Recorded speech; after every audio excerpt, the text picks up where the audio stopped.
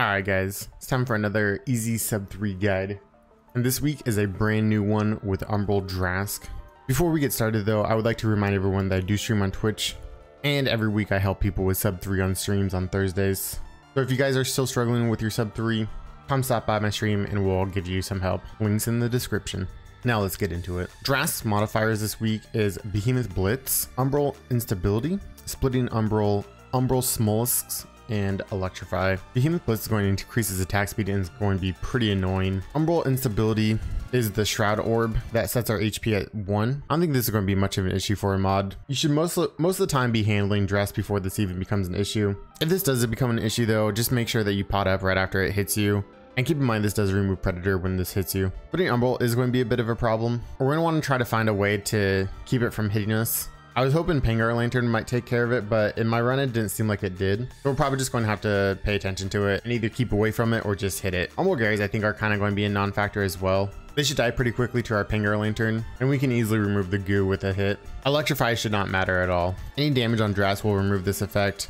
I'd mostly pay attention to Behemoth Blitz and Splitting Umbral. I feel like these are going to be the most impactful Let's get into the build though. Our build this week is going to be using the Rezakiri Strikers. This will give us our elemental advantage as well as already having cunning on them.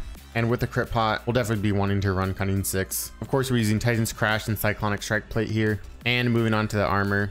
The armor required for the build. We're of course using Pangar Lantern for the damage as well as the Frost Proc on Drask to keep him slow as well as taking care of the Garys for us. It's a super useful lantern this week. Pots used are going to be Frenzy and Blitz as well as the new crit pot. Pot has really shown how broken OP it is after last week. And the cells that we're taking is 6 Callous, 6 Cunning, 6 Iceborne, 6 Rage, 3 Berserker, 3 Conduit, 3 Discipline, and 3 Wild Frenzy. Pretty standard build here. We got the six callous to work with the potions that we were taking, and the plus six cunning works so well with the new crit tonic, giving us an extra crit chance as well as crit damage. We should have a pretty likely chance to crit, as well as a huge amount of crit damage on top of that. Should be pretty good for our damage. And then we're of course taking Iceborne because I'm a bot. We have three Berserker, three Wild Frenzy.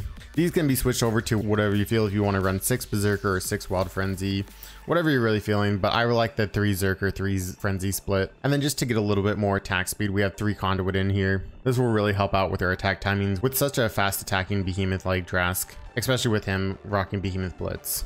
All right, let's get into the fight. We're going to run right in and pot up uh, Drask is actually moving around the arena, which I was a little bit surprised by. So he's kind of actually in the back of the arena. Not much issue. We just run up to him and start our combos anyways and get our mantras up and running. This is actually the very first time I've ever done this trial. So I was a little bit unsure what to expect. The only time I fought Drask was in Umbral Escalations. So I'm a little bit unfamiliar with him as well as a behemoth.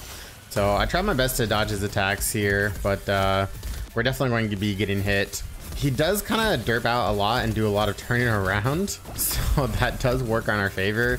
That's just kind of his behavior. But he's got a lot of wide sweeping attacks that we're going to want to make sure that we dodge. We get a stagger here, which is really nice. Get some really good damage in. And we should be uh, hard focusing his head. We're looking for a head break as well as just, you know, the, the staggers. Um, back up here for I don't know what reason. He just wanted to get backwards. We do get the head break here, which is super nice for our time as well as our damage. Helping extend his duration on the ground. We get hit by the tail swipe once again. If you do dodge that tail swipe the first time, you don't have to dodge the second tail swipe. We're just going to want to keep him by his head and keep clapping that head. Try to get as much damage onto it as we possibly can. Possibly get staggers, get part breaks.